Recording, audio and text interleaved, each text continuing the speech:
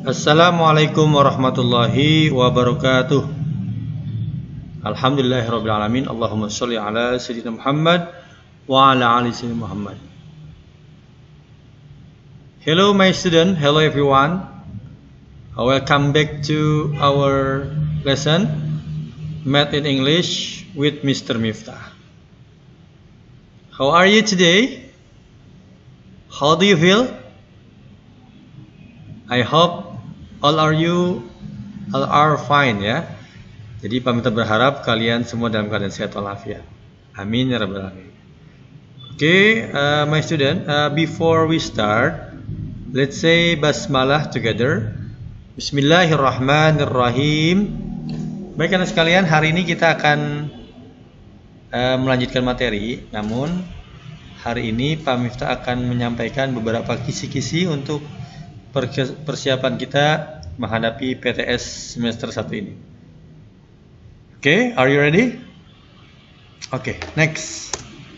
Oke, okay, uh, my student, before we start, uh, let's say uh, video. Jadi kita lihat video, kita akan warming up ya, pemanasan terlebih dahulu. Boleh sambil berdiri nanti. Diikuti ya nanti tentang uh, open close atau buka dan tutup. Siap ya? Mungkin di antara kalian juga sudah pernah melihat video ini. Let's say Show me your hands. Open, close, open, close. Everybody clap, clap, clap.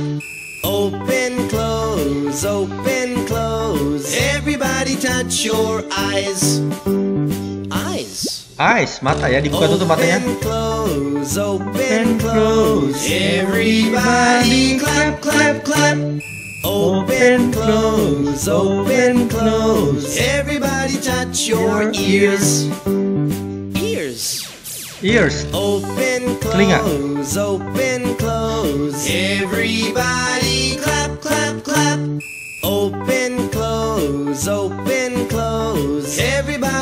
touch your nose. Nose, our nose. Nose. Hidung. Open, close, open, close. Everybody clap, clap, clap. Open, close, open, close. Everybody touch your arms. Arms.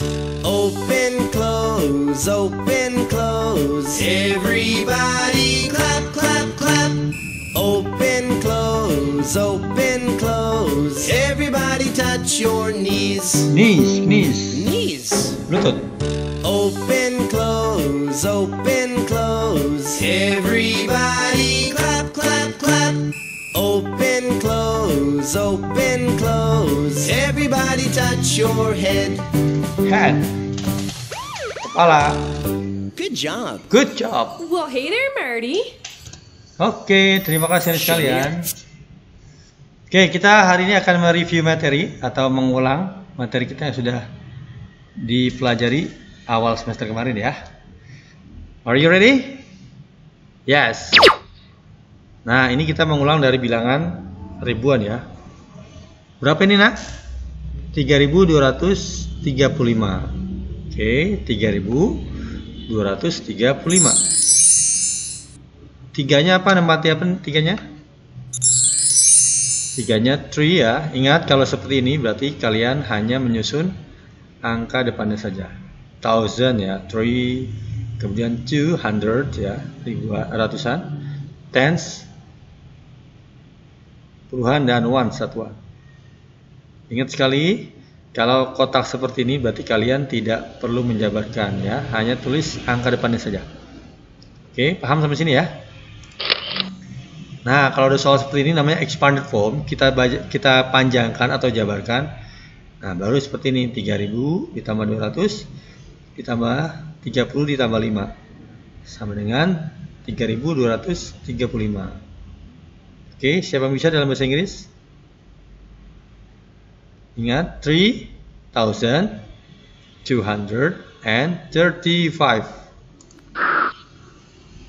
3000 poin atau koma 235 3235 Ingat ya, paham sayang ya. Jadi kalau seperti ini, kalau dalam bentuk tabel hanya angka depannya saja, tidak perlu dijabarkan. Nah, sebaliknya kalau ada expanded form itu namanya dijabarkan atau dipanjangkan. Berarti jawabannya 3000 tambah 200 tambah 30 dan tambah 5. Hasilnya adalah 3235. Nah, in the word dalam tulisan atau kata menjadi 3000 235 3235 Oke okay. Do you understand? Paham sampai sini ya? Oke okay, sekarang next Nah Materi selanjutnya itu menghitung dalam puluhan Ini berarti 4610 4620 4630 selanjutnya. Nah Ingat yang berubah berarti puluhannya ya 40 50 60 dan seterusnya. Begitu juga sama yang kedua nih. 80 berarti 90 7600 7610 ya Begitupun selanjutnya 100 berarti 100 10 120 dan 130. Ingat, yang berubah hanya tens atau puluhan. Berarti yang angka dua angka di belakang ya, dua digit. 10, 20, 30. Angka ribuan dan ratusan tetap. Ini 60, 70, 80 dan 90. Jadi ini bilangan ribuan namun menghitung dalam intens artinya dalam puluhan. Berarti angka uh, puluhannya saja nilai puluhan 70 80 90 ingat ya jadi kalau nanti ada soal perhatikan count intense berarti kalian lihat nilai puluhannya saja. Ya. Oke ini yang pertama yang tens ya. Selanjutnya yang count in hundred berarti ratusan nah, ini lebih agak lebih mudah ya. 7500 600 700 800 900 8000 ya. 7500 7900 berarti 8000 ini berarti 300 400 500 600 ini agak jauh lebih mudah. Ini yang 5000 berarti 5000 100 5200 5300 yang terakhir 3500 berarti 600 700 800 jauh lebih mudah ya sayang ya? Oke kemudian yang ketiga berarti nilai thousand atau ribuan nah ini jauh lebih mudah lagi nih 2000 3000 4000 5000 6000 7000 in English 2000, 3000, 4000, 5000, 6000, and 7000. Oke, ini masih mudah nih karena nilai ribuannya tidak ada nilai ratusan dan uh, puluhan serta satuannya tidak uh, apa namanya masih mudah ya. Nah ini yang nih nilai ribuannya. Ingat kalau seperti ini tetap ya. Tuh yang berubah adalah nilai ribuannya. 4000, 5000, 6000. 500-nya tidak berubah 520, 520, 520. Berarti di sini adalah habis 6520, 7520, 8520. 6520. Ya, ingat ratusan, puluhan dan satuan tidak berubah. Yang berubah hanya ribuannya saja karena count in thousand. Paham ya? Ini 7000, 8000, 9000. Berapa habis ini? 10000 betul. Nah, ini lagi yang selanjutnya yang ribuan dalam bentuk angkanya ratusan, puluhan dan satunya tidak berubah. Lihat. 3310 berarti 4310 5310 dan 6310. Paham sampai sini ya? Oke. Selanjutnya kita akan mereview juga tentang nearest ten, pembulatan ya, round the round to the nearest ten and write the number. Nah, jadi kita round ini sini artinya pembulatan mendekati angka puluhannya. Yo, ingat pembulatan ke atas dan pembulatan ke bawah. Ya. Kalau mendekati ke puluhan bawah misalnya 21 ataupun 15, sorry, misalnya 11 itu berarti mendekati 10, 18 berarti mendekati 20. Atau yang ratusan misalnya 123 itu berarti mendekati 120 ke bawah ya. Kalau 127 berarti mendekati ke atas menjadi 130. Oke, kita lihat ya dalam soal ini yuk kita jawab sama-sama. Dua-dua ini mendekati ke 20 atau ke 30? 20 ya. Ingat patokannya 5. Misalnya kalau 25 itu 25 otomatis akan kita naikkan ke atas menjadi 30. Atau 100 50. Nah, kita bulatkan ke atas juga menjadi 160. Ya, jadi kita ingat nearest 10 artinya pembulatan puluhan yang terdekat. Nah, 46. 46 kira-kira 40 apa ke 50? 6 berarti ke atas menjadi 50. Nah, 74. 74 ini berarti ke mana? Ke bawah atau ke atas? Bawah ya. Kalau 75 kita bulatkan ke atas. Karena 74 menjadi ke bawah berarti pembulatan 70. Nah, 35. Ingat poinnya ataupun titiknya tuh di 5. 5 itu selalu kita bulatkan ke atas. Berarti kalau 35 ke mana? 40. 95 ke mana nih? Ke 90 atau 100? Berapa? 100 ya. Ingat, poinnya angka 5 di sini. 222. Kalau ini pembulatannya ke 200, apakah 220 atau 230? Ayo, ingat yang ditanyakan adalah 10. Berarti puluhannya saja, 200 tidak berubah. Yang berubah adalah 20 atau 30 nih. Ingat dua angka di belakangnya ya. Berarti kalau 22 ke 20 atau ke 30? Ke 20 ya. Oke, jadi 220 tidak 230 atau bahkan tidak menjadi 200 karena nilainya yang ditanyakan adalah nilai tensnya puluhannya selanjutnya 778 menjadi 80 atau 70 ingat 8 nya di sini 80 ya menjadi 780 Oke, selanjutnya yang 100 eh sorry, 1000 nih. 1233 Ingat kita fokus ke nilai puluhannya yang 33-nya nih. Berarti 1230 atau 1240 eh, kira-kira 33. 30 ya.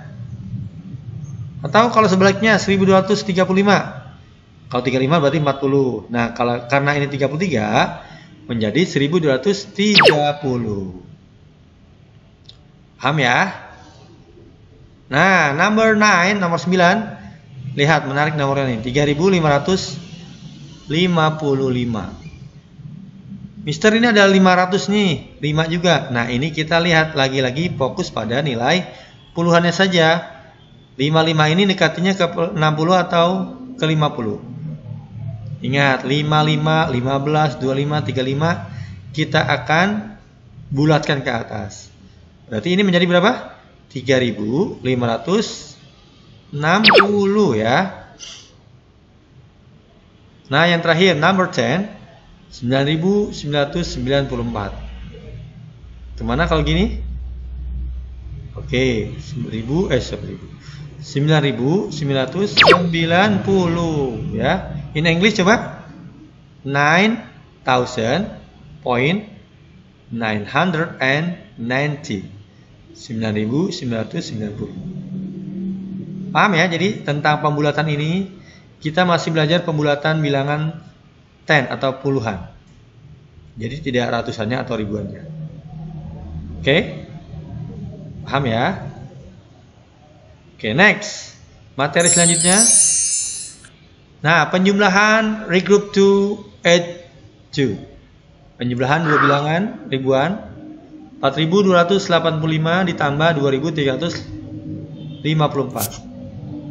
Ingat, kita buat bersusun ke bawah.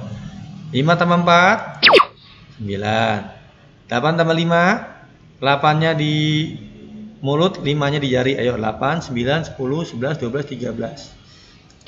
13. Satunya di mana? Di sini. 1 tambah 2 3. 3 tambah 3 6. Ingat kalau gini jangan dijadiin 12 sayang ya. Ini berlaku hanya untuk penjumlahan nih. 1 tambah 2, jangan 12 di sini. Nanti tambah kacau hasilnya. 1 tambah 2, 3. 3 tambah 3, 6. Ya. Oke, 4 tambah 2, 6.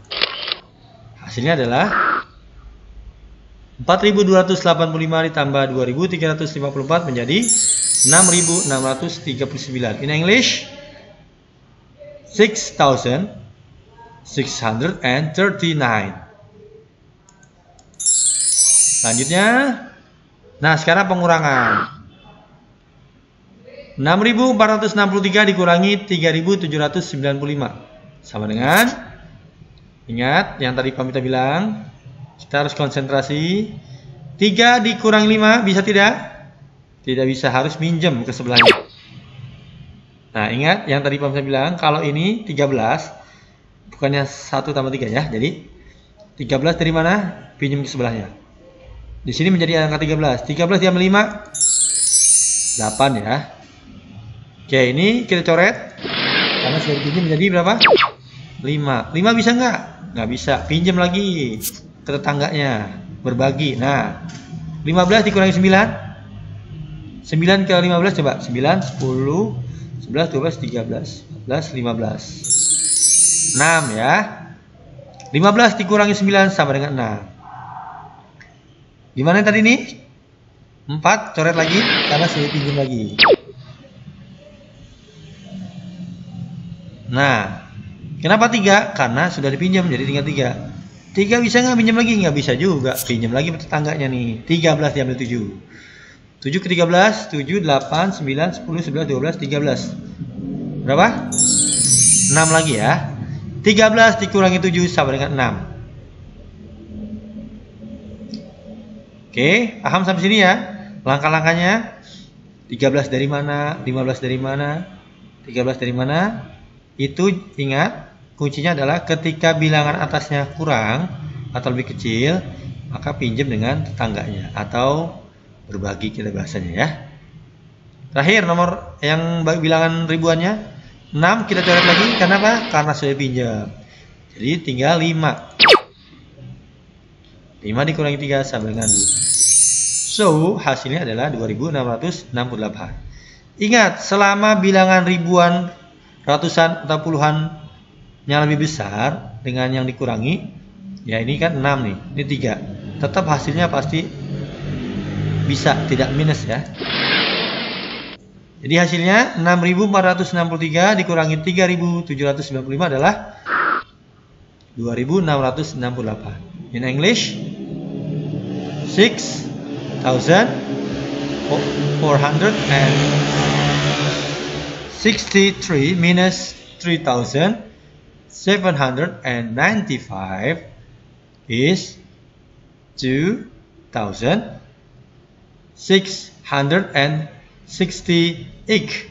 sama dengan 2668. Paham caranya ya? Ingat di sini memang kuncinya ketika pengurangan harus mengerti tentang pengurangan jika bilangan itu lebih kecil ya. Kalau saya yakin pasti kalian pasti bisa. Oke, nah sekarang yang pengurangan dengan angka 0 atasnya. 8000 dikurangi 2453. Ingat caranya seperti tadi, pinjam ke sebelahnya. Berbagi lagi. 0 tidak bisa dibagi dikurangi 3, maka pinjam 1 jadi 10. 10 diambil 3 7 Nih 10 lagi ya Tidak dicoret Menjadi 9 Mister kok 9 dari mana ya? Ingat Langkahnya adalah Ini 0 kalau pinjam ke sebelah Jadi 10 Namun karena udah dibagi ke sebelahnya menjadi 9 ya. Jadi jangan bingung lagi 9 dari mana. Nah, 9 dikurangi 5 4. Nah, ini 0 lagi. Berarti gimana? Coret lagi. Harusnya 10 ya. Karena sudah dipinjam menjadi 9 lagi. Nah, 9 dibagi 4 dikurangi 4, 9 dikurangi 4 sama dengan 5. Yang terakhir nih, kita coret lagi ya. Menjadi berapa? 7. Karena sudah dipinjam sebelahnya. 7 dikurangi 2, 2 sama dengan 5. Jadi hasilnya 5547. 8000 dikurangi 2453 sama dengan 5547. Okay, my student? Do you understand? Okay, ya. Jadi ini adalah kisi-kisi kita untuk menghadapi PTS pekan depan. Selamat belajar. Selamat menikmati bersenang-senang dengan pelajaran Math in English. Oke. Okay? Nah, ada question nih yang di halaman 42 dan 43. Ini soal cerita ya. Ini soalnya adalah pengurangan dan penjumlahan. Karena soal cerita berarti kalian harus paham dulu ceritanya nih. Pak kita terjemahin aja ya. Yang nomor A, Ramon dan Tom menjual stem apa stem perangko untuk mengumpulkan uang dalam rangka charity organisasi ataupun organisasi amal. Kami ulangi, jadi Raymond dan Tom mereka menjual uh, perangko untuk mengumpulkan uang dalam rangka am, organisasi amal. Nah, si Raymond menjual 2480 perangko. Sedangkan si Tom menjual 350 stem atau perangko lebih sedikit daripada Raymond. Pertanyaannya adalah berapa banyak stem ataupun perangko yang dijual oleh Tom. Nih. Jadi si Ramon menjual 2480 ya. Kemudian si Tom ini dia menjual lebih sedikit dari 350 ya dari punyanya si Ramon. Berarti kita kurang ini. Hasilnya kira-kira terjual berapa nih ya, si Tom? Caranya adalah 2480 dikurangi 350. Jadi si Ramon terjualnya ataupun menjual perangkonya sebanyak 2480 sementara si Tom 350 lebih sedikit. Nah, nanti akan ketahuan nih. 2480 dikurangi 30 berapa hasilnya? Itu akan ketahuan berarti si Tom Tom sold bla bla bla stamp. Si Tom menjual beberapa perangko. Ya, jadi si Ramon menjualnya 2480, sedangkan si Tom ini ternyata lebih sedikit 350 kira-kira. Tinggal dikurangi hasilnya berarti nanti hasil ketahuan. Si Tom menjual berapa perangko. Paham ya? Oke, yang B sekarang. Penerjemahkan selama book fair atau pameran buku 1008 stiker dibagikan kepada pengunjung pada hari Sabtu. Nih, jadi 1000 stiker ini diberikan kepada pengunjung pada hari Sabtu. Sedangkan 3509 stiker diberikan pada hari Minggu. Berarti lebih banyak nih. Pertanyaannya adalah berapa stiker yang diberikan both day dalam dua hari tersebut? Berarti di apa? di hari Sabtu dan hari Minggu. Berarti jumlah ya. 1008 ditambah 3509 berapa hasilnya? Kalau ini dikurangi, kalau ini jumlah. Titik sticker were given out on the both day. Stiker yang diberikan pada dua hari tersebut berapa jumlahnya? Berarti ini jumlah.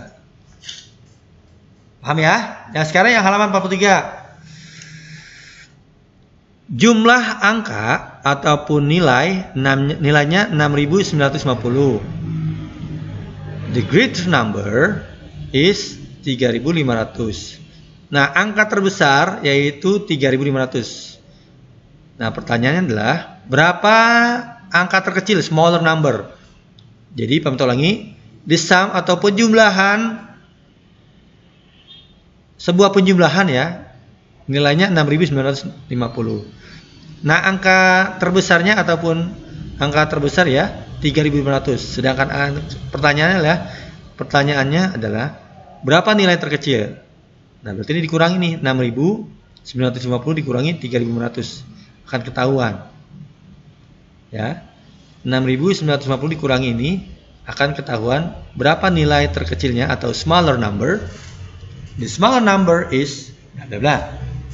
Setelah dikurangi ini berarti akan ketahuan hasilnya, nilai terkecilnya. Oke, paham ya? Yang D sekarang. Di sebuah stadion sepak bola ada 2369 fans atau pendukung. Nah, 1242 lebih ataupun lebih sedikit anak-anak. Pertanyaannya adalah berapa banyak orang dewasanya? Nah, jadi dalam sebuah stadion sepak bola ada uh, fans 2369 nih, fans atau pendukung.